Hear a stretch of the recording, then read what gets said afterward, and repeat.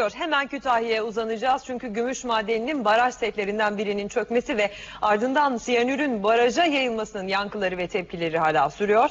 Ankara'dan bölgeye gönderilen teknik heyet sızma yok dedi. Fakat bölge halkının kafası hala karışık. Çevre Bakanı da yaşananlar üzerine Kütahya'ya gitti ve şu anda da NTV Can yayın ekibinden Levent Demirkay'ın konuğu. Levent hemen sözü size bırakalım. Çevre Bakanı endişeleri giderebilecek mi? Merakla bekliyoruz. Seda senin de belirttiğin gibi Çevre ve Orman Bakanı Veysel Eroğlu ile birlikteyiz. Bugün bir toplantı yaptı Kütahya Valiliğinde. Bu toplantının detaylarını ve alınan önlemlerle ilgili bilgileri kendisinden alacağız. Efendim hoş geldiniz yayınımıza.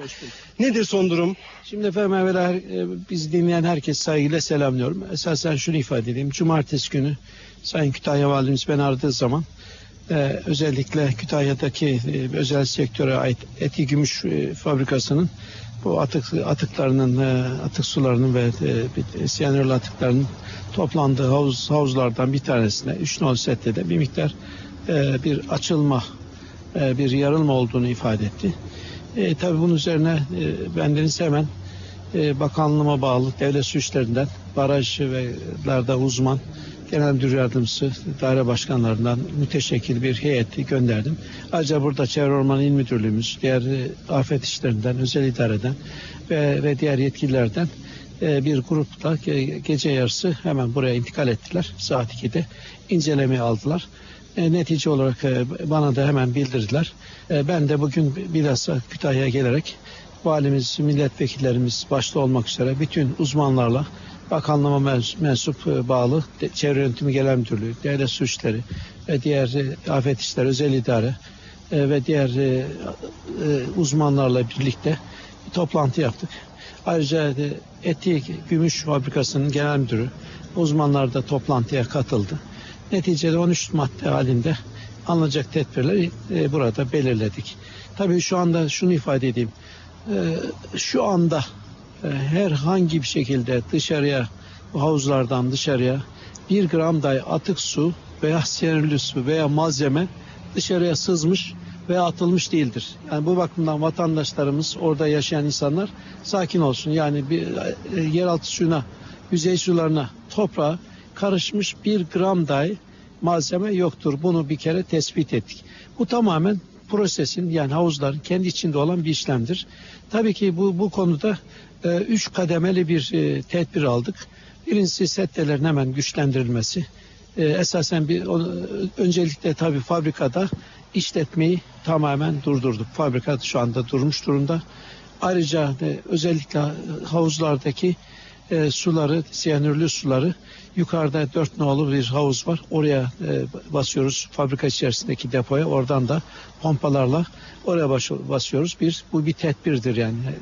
E, fabrikanın işletmenin durması ikinci tedbir. Üçüncü tedbir de setteler güçlenecek. Dördüncü tedbir de şu anda beşinci bir havuz, e, emniyet havuzu açılmış durumda.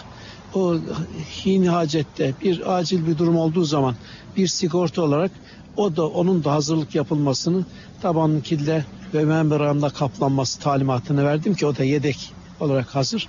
E, ayrıca e, bir de e, yağmur yağdığı zaman e, bu havuzlara su gelmemesi için kafende dediğimiz hendekler, e, yağmur suyu drenaj hendeklerinin tekrar gözden geçirilmesi talimatı verdik.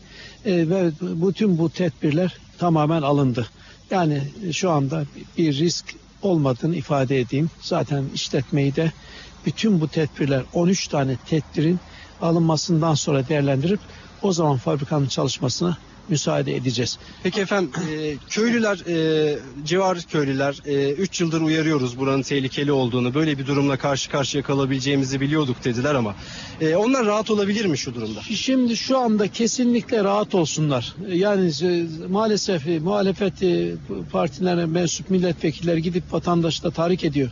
Yani bu da çok e, çirkin bir husus. Yani o özellikle sanki hayvanlar ölmüş bilmem ne kuşlar ölmüş gibi bir takım e, şehir efsaneleri üretiyorlar. Bu tamamen yanlıştır. Ben de altını çizerek e, şunu ifade edeyim. E, Kütahya'da da basın mensuplarına bunu izah ettik. Vatandaşlarımıza söyledik. Özellikle ben de dahi bu vatandaşların hassasiyetini dikkat alarak bütün işimi bırakarak buraya geldim. Özellikle bütün kalabalık bir teknik ekip milletvekillerimizin, valimizin dahil olduğu İl Jandarmaları Komutanımızdan taşıya kadar bütün e, elemanlara, vali yardımcılarına sorumlu hepsinin dahil olduğu toplantı yaptık. Tekrar ediyorum. Şu ana kadar bir gram dahi dışarıya sızan bir siyanürlü atık su veya malzeme veya yeraltı suyunu kirleten, yağmur suyunu kirleten hiçbir şey söz konusu değildir. Bakın özellikle onu vurguluyorum. Yani şu, şu anda e, bizim bu aldığımız tedbirler ileride herhangi bir şekilde risk olmasın diye aldığımız e, kademeli tedbirlerdir. Yani çok ileriye matuf tedbirlerdir. Onu özellikle belirteyim. Zaten bu tedbirlerin tamamı e, e, tarafımızdan görülecek. Hatta her gün bana da rapor edilecek, valiliğimize rapor edilecek. Bu bir de şunu yaptık. Bu konudaki gerek buradaki işletmenin e, şu anda fabrika çalışmıyor ama tekrar prosesin gözden geçirilmesi varsa bir takım içeri fabrik içinde tedbirler gerek havuzlarda yapılacak e, göle e, settelerde yapılacak olan ıslah işlemleri ve diğer saydığımız tedbirlerin takibi izlenmesi için tam 24 saatli süreyle çeşitli kurumlardan mesela devlet su işlerinden, afet işlerinden, özel idareden ve Çevre Orman Müdürlüğü gibi diğer bütün birimlerden, Enerji Bakanlığımızın birimlerinden e, hepsinden aşağı, aşağı yukarı e, elemanlar müteşekkil bir heyet kurduk. İzleme ve takip heyeti e, bu heyet zaten 24 saat süreyle şey yapacak. Ayrıca fabrika içinden de başta fabrikanın Eti Gümüş'ün genel müdürü olmak üzere barajlardan sorumlu e, mühendisi, e, müdürü ve aynı zamanda kimyagerler ve diğer mü- mühendisler de e, mutlaka nöbetçi olarak görevlendirdi. En az 5-6 kişi de oradan görevli. Dolayısıyla 15-20 kişilik bir ta- takip kurulu var. Onu özellikle belirteyim.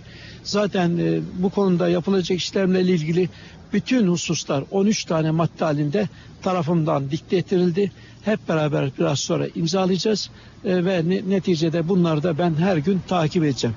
Yani e, ben özellikle vatandaşlarımızla şunu ifade etmek istiyorum. Kati surette şu anda herhangi bir sızma veya dışarıda kirlenme söz konusu değildir. Bu havuzların kendi aralarında olan e, settelerdeki problemlerdir.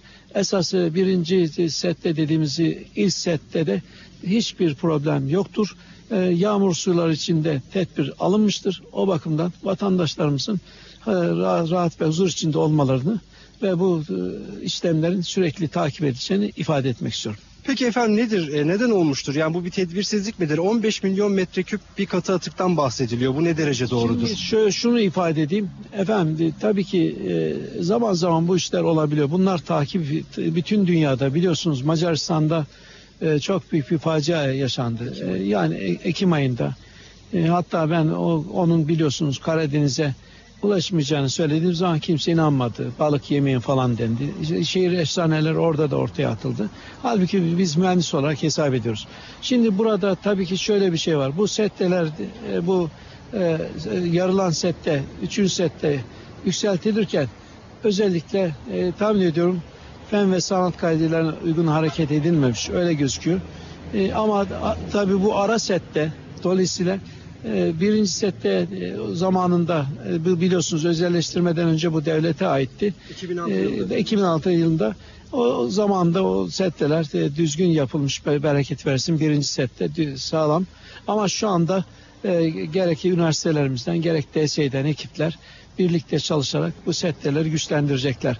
Belki bunda da bir hayır oldu diye düşünüyorum. Çünkü aradaki setlerin patlaması diğer settelerin tamamen gözden geçirilmesine e, vesile oldu. Özellikle ben buradan bütün işletmelere şunu ifade etmek istiyorum. Yani burada e, sanayicilerimiz sanayi körlüğü vardır genelde. İşletme sürekli e, nasıl olsa sürekli aktığı için, sürekli aynı sistem olduğu için işletme körlüğünün engellenmesi için zaman zaman dışarıdan bir takım müşavirlerle fabrikayı e, bilhassa yönetim kurulu başkanları, e, fabrikaların sahipleri mutlak suretle başka bir göze e, mutlu inceletmeleri gerekir. Çünkü biz e, devlet olarak bunları inceliyoruz ama e, derinlemesine her zaman girmemiz mümkün değil. Çünkü e, neticede her fabrikayı e, bir sanki oradaki işletme elemanı gibi incelememiz mümkün değil. Neticede biz dışarıdan bakıyoruz, ölçümlere bakıyoruz.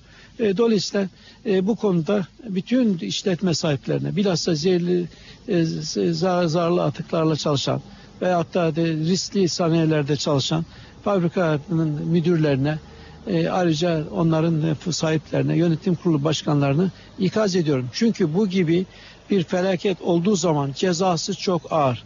Maddi cezasını bir tarafa bırakalım. Çevre kanunu gereği hapis cezası dahi var. Dolayısıyla bu yüzden mutlaka sorunları belirlesinler. e, zaman zaman kontrol etsinler diye ben rica ediyorum. Emniyet tedbirlerini, iş emniyeti, iş güvenliği, çevre emniyetini mutlaka almaları gerekir. Biz de bundan böyle bu testleri daha da sıkılaştıracağız. Çünkü e, inşallah e, Sayın Başbakanımızın talimatıyla e, Çevre Orman Bakanlığı'nda yeni çevre mühendisleri, diğer kimya mühendisleri, diğer, diğer mühendislik dallarındaki elemanlar da alınıyor. Geçen sene çok sayıda kadro verildi. İnşallah bu sene yeniden elemanlar alacağız Haziran'dan itibaren. Onlarla birlikte e, bakanlığımız daha da kontrol ve denetimi artıracak. Efendim süremiz çok azaldı. Son Evet. bir soru sormak Söz- istiyorum. Ee, bir ceza söz konusu mu? Şimdi tabii şöyle aslında da dışarıya çık, sızmış olsaydı çok büyük bir cezası vardı tabii. Bizim ceza çevre cezaları da ağır. En ucuz en az ceza 45-50 mil, e, milyardan başlıyor. Yani bunlar 2 3 5 10 trilyona kadar 20 trilyona kadar çıkıyor ama şu anda e, kendi sahasında olan, kendi içinde olan e, Arap setlerinin yaralması ama dışarı sızmadı. E, a- onu arkadaşlar inceliyor. Sızmış olsaydı çok büyük cezası vardı. Hatta hapis cezası dahi olabilirdi. Çok teşekkür Ben ediyoruz teşekkür efendim yayınımıza katıldığınız E, için. ge- geçmiş olsun diyorum Kütahyalılara. E, söylediğim gibi vatandaşlarımız e, e, kontrol altında rahat olsunlar. E, bir takım provokasyonlara itibar etmesinler. Şehir efsanelerine inanmasınlar. Teşekkür ederiz ben efendim. teşekkür Evet Seda Çevre ve Orman Bakanı Veysel Eroğlu'nun görüşlerini aldık. Konuyla ilgili tedbirler alınacak. 13 maddelik tedbir paketi var. Bölgede bunlar alınacak. Bölgedeki köylülerin ve insanların rahat etmelerini, rahat olmalarını diledi, söyledi Veysel Eroğlu.